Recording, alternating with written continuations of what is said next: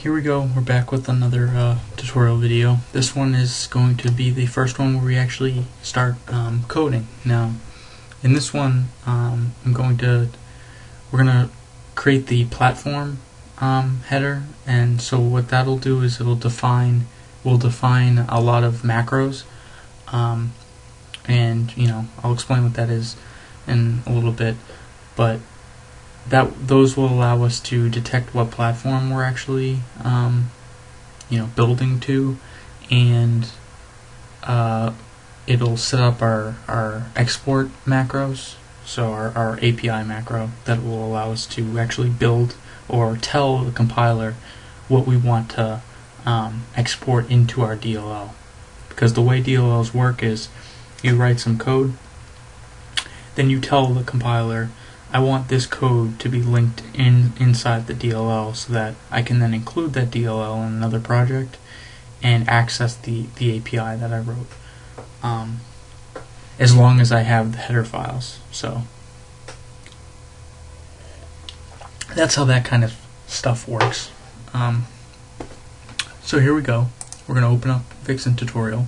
Now last, if you remember last tutorial, we um, set up our, our GitHub uh, repository to now have our source that we copy over, you know, when we build.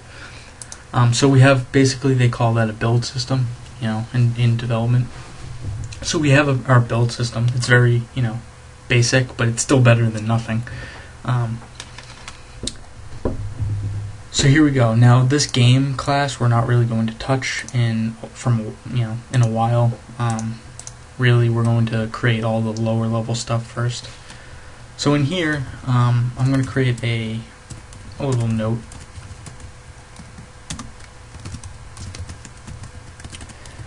So in here we're going to uh, define um, preprocessor processor macros for DLL export and import and uh, system. Um, system. Yeah.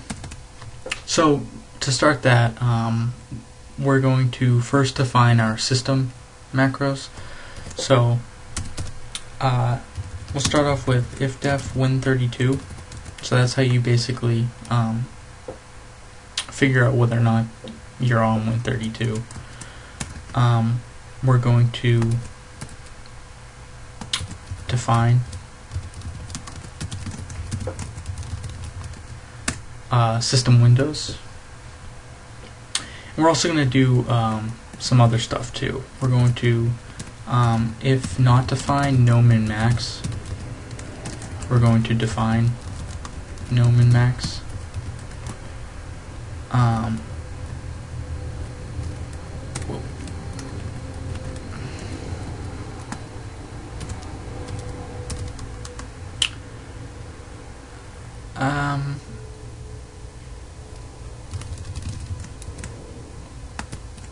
now we're going to do the Linux ones.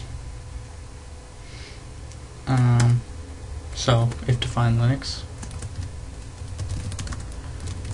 system Linux,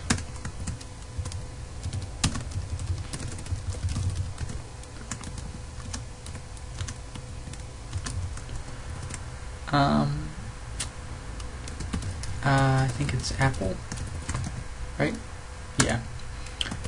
Sharp define um, Vix or pound define. It's really called pound, but I like to say sharp. uh, uh, Mac OS.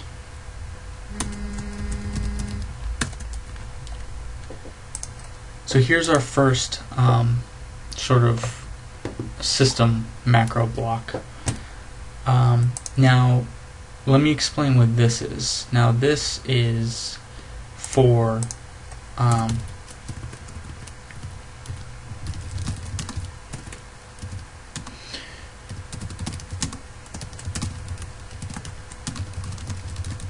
defining the um, min and max macros.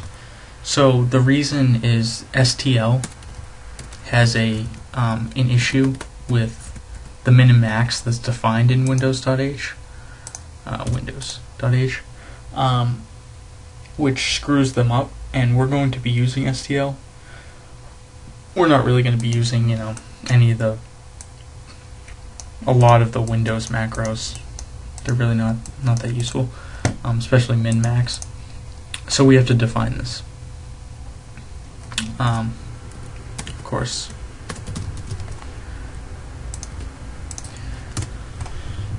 Um, so that's it for our system stuff. So now here um, is where we're going to define the platform um, DLL stuff.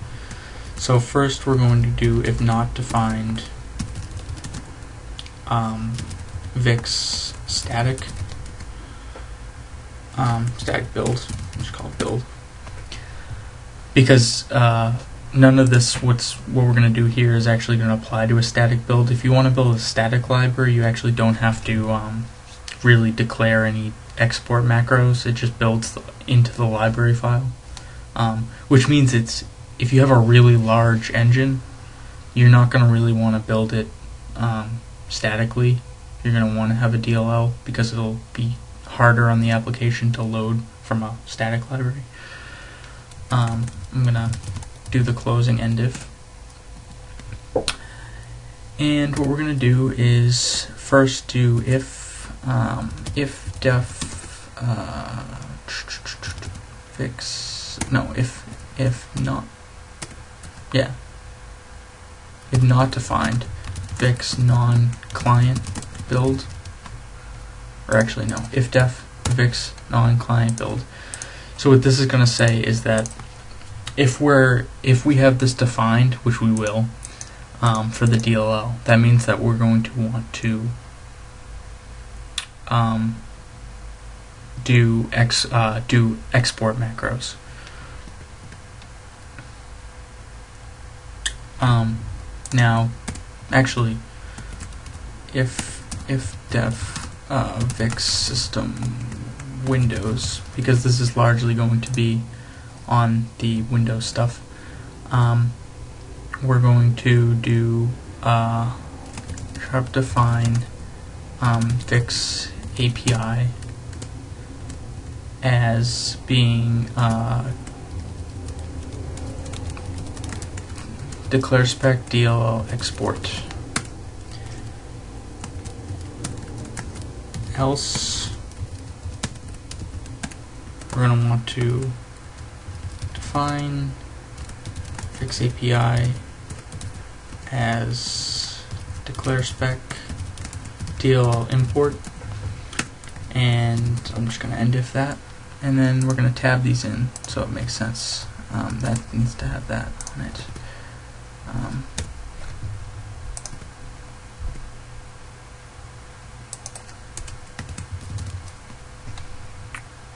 Okie dokie.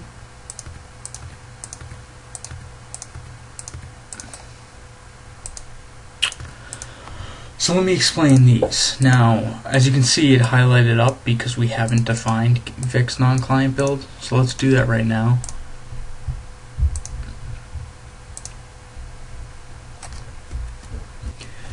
And to do that, we need to go into, um, uh, is that linker?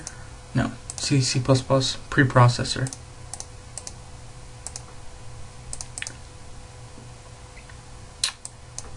Now, um, you can sort of ignore most of these, and what we're going to want to do is define VIX non-client build and apply that.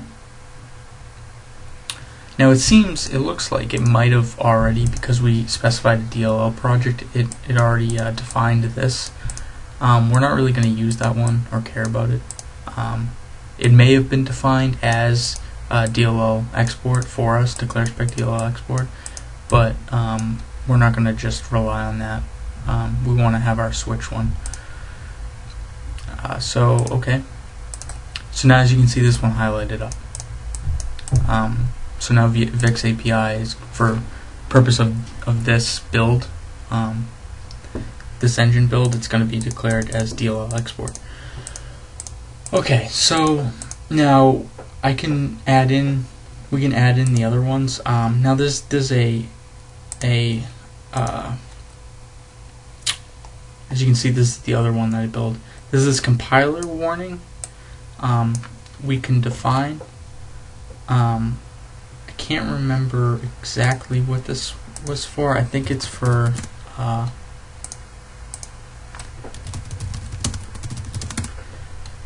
Four two five one. Okay. So let's look into this actually. Okay. It's it's an issue with declare spec if you um okay.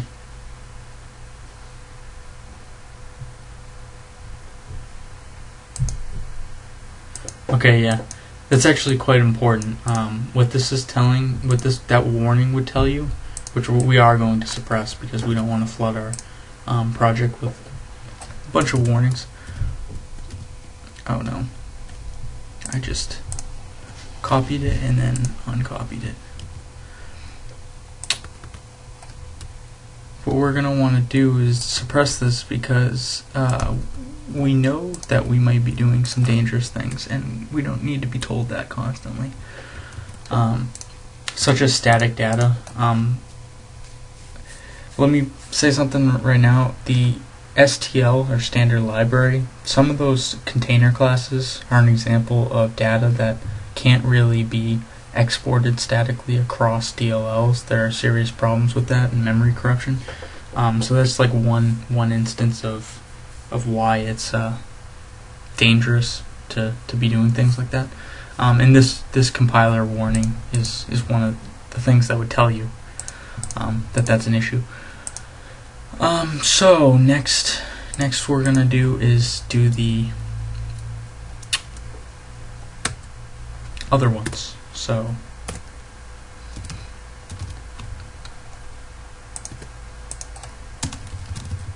defined uh,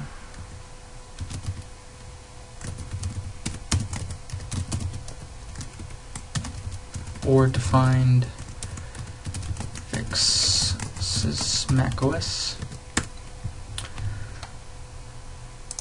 So we're going to check the um, uh, Linux and Mac OS. And then what we're going to do is we're going to check the um, if def is it GC, GCC version forget GCC version GNU CC version. GNU C. Okay. Um. Yeah, GNU C greater than or equal to. It's gonna have the visibility attributes. Um. And then yeah, the static. Okay. So sharp. Uh. If def. Uh can can you see that? Yeah.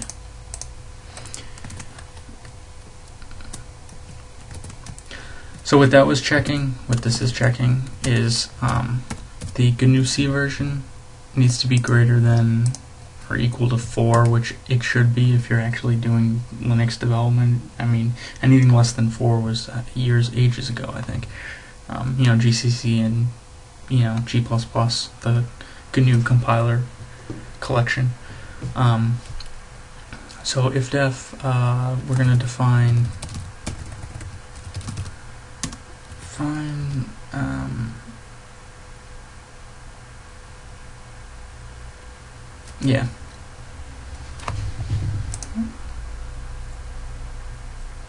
Yep uh, Vix API as attribute attribute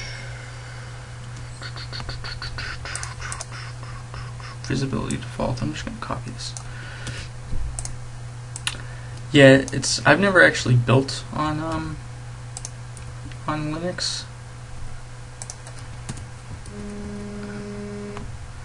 Um, so I'm assuming that it's sort of um, the default option if it even has visibility into you know if it has anything set like an attribute they just assume that you are building into building an SO um, file. Otherwise you're building statically and it doesn't doesn't care. Um, which might be a better design actually if you think about it. Um, Visual Studio might.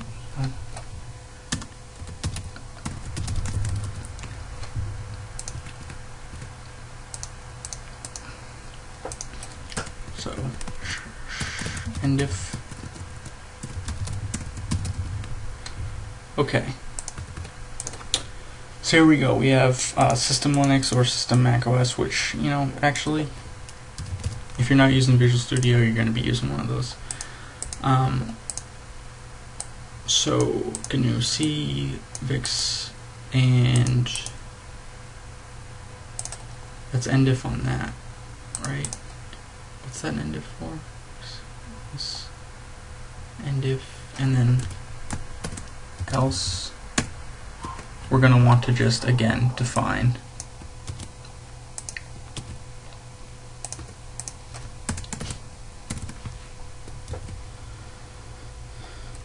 And I think we're good actually. Let's build. Build succeeded. Let's go in here and test out our, you know, little build system.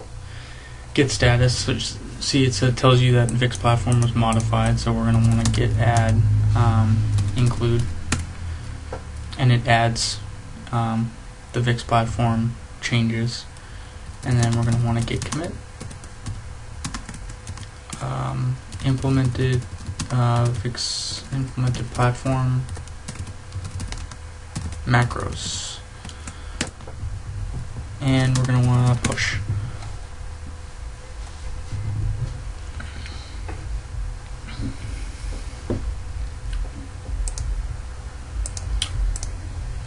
so let's refresh our thing again. So now we can go in here. Look implemented macros and here's our macro class our you know platform class um, header.